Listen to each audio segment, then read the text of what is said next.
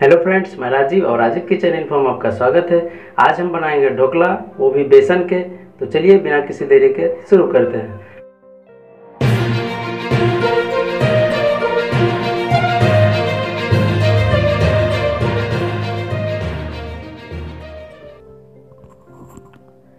ढोकला बनाने के लिए फ्रेंड्स हम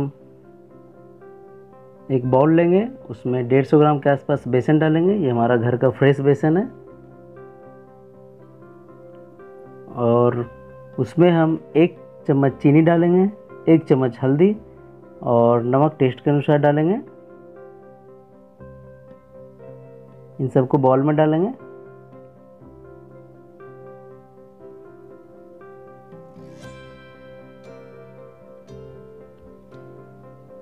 और थोड़ी सी, और इसमें थोड़ी थोड़ी पानी डाल के इसे अच्छे से मिलाएँगे।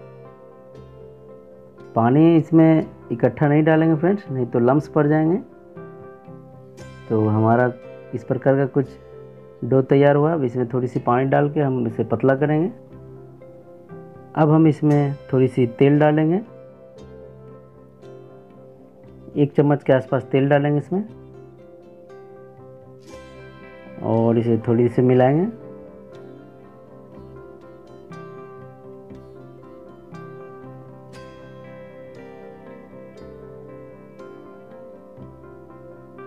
और अच्छे से मिलाने के बाद हम एक पॉट लेंगे, कोई भी या केक पॉट उसमें थोड़ी सी तेल डाल के इसके, इसका ग्रीसिंग कर लेंगे। आप चाहें तो ब्रश की मदद से या फिर हाथों के सहारे इसे पूरी तरह से तेल लगा दें, अच्छी तरह से, ताकि इसमें चिपके नहीं। हमारा ढोकला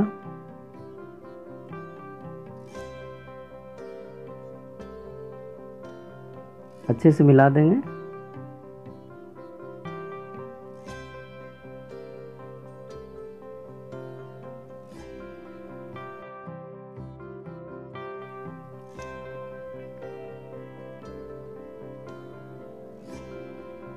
इसे हम कुकर में पकाएँगे तो उसके लिए हमने कुकर में एक गिलास के आसपास हमने पानी डाला है, एक से डेढ़ गिलास के आसपास, और उसमें हम नीचे पोट रख दिया है। कोई सा भी आप या तो स्टैंड रख सकते हैं या पॉट।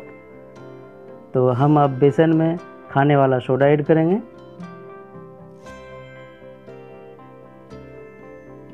ये आधी चम्मच से थोड़ी सी कम ऐड करेंगे इसमें।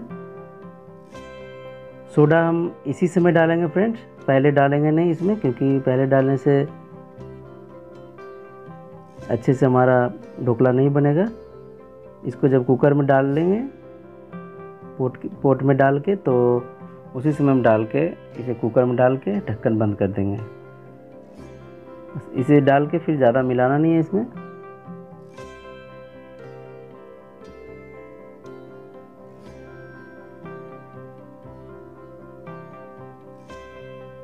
अब हम इसे पोट में डालेंगे। आपके पास कोई भी इस टाइप का बर्तन हो केक पोट या फिर कुकर का जो पोट होता है, उसमें हम डाल रहे हैं। और उसे डालने के बाद कुकर में डालेंगे। ध्यान देंगे फ्रेंड्स, हमने इसका सीटी निकाल दिया है।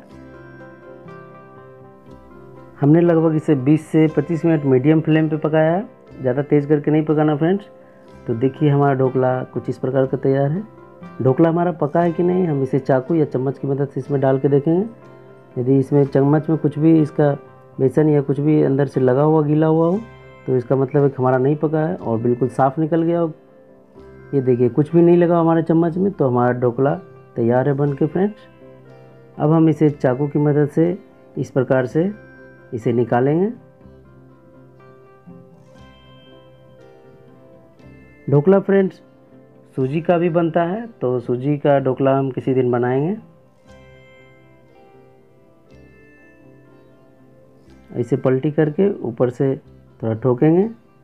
तो ये देखिए हमारा बेसन का ढोकला बन के तैयार है। थोड़ी सी हल्की सी लगी है इसमें तो उससे ज़्यादा दिक्कत नहीं है फ्रेंड्स अब हम इसे पलटी करेंगे। अब हम इसे चाकू की मदद से काटेंगे। आप जिस भी साइज़ का रखना चाहे, उस साइज़ में आप रख सकते हैं। बेसन के ढोकले को फ्रेंड्स आप घर में बहुत ही इजी तरीके से बना सकते हैं। और ये लगभग फाइनली आधे घंटे में तैयार हो जाता है।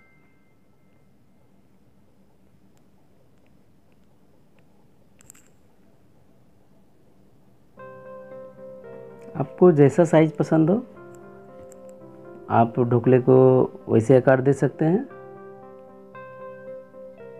वैसे अब इडली पोट में भी इसे बना सकते हैं, चाहें तो। लेकिन हमने इसी रूप में बनाया है। अब हम इसका छौंक तैयार करेंगे। इसे छौंकने के लिए फ्रेंड्स, हमने दो से तीन चम्मच तेल डाला है इसमें। एक डब्बों में डालेंगे।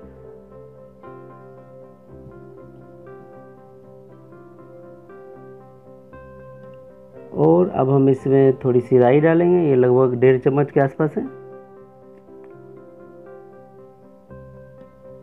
राई डालने के बाद इसमें हम कड़ी पत्ता ऐड करेंगे अब।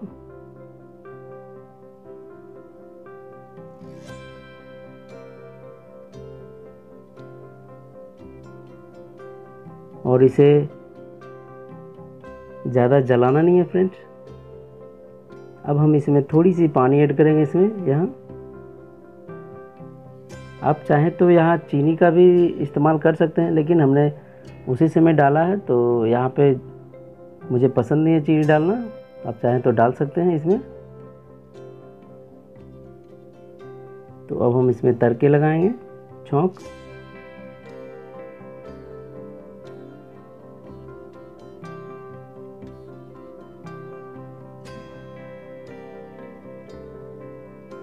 तो हमने छौंक लगा दिया है। आप इस तरह से लगाएँगे तो इसमें बहुत ही ज़्यादा टेस्ट आएगा फ्रेंड्स ढोकला में। और ढोकला में राई और कड़ी का पत्ता से बहुत ही अच्छा फ्लेवर आता है। इसके बिना आप ढोकला उतना स्वादिष्ट बना नहीं सकते हैं। तो हमारा बेसन का ढोकला बन के तैयार है फ्रेंड्स। तो हमारा बेसन का ढोकला बन के तैयार है फ्रेंड्स आप भी चाहे तो इसे घर पे बनाएँ। फ्रेंड्स अगर ये रेसिपी आपको अच्छी लगी हो तो हमारे चैनल को लाइक सब्सक्राइब और घंटी के बेल आइकन को दबाना ना भूलें, ताकि इसी तरह की रेसिपी आपको आगे भी मिलती रहे। जय हिंद, जय भारत।